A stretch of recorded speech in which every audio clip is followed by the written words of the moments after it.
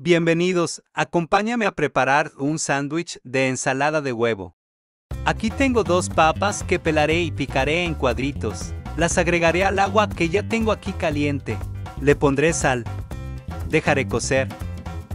Cocinaré 5 huevos cuando empiece a hervir, solo dejaré 8 minutos. En un recipiente pondré una taza de crema agria, media taza de mayonesa, mostaza aproximadamente 2 cucharadas, pimienta, cebolla en polvo, ajo en polvo, sal. Revolveré. Agregaré un poco de apio picadito, pepinillo encurtido, las papas cocidas, los huevos ya pelados, mezclando todo.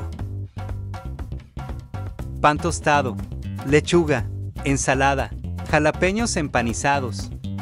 A comer que hace hambre. Quedó riquísimo, anímate a prepararlo.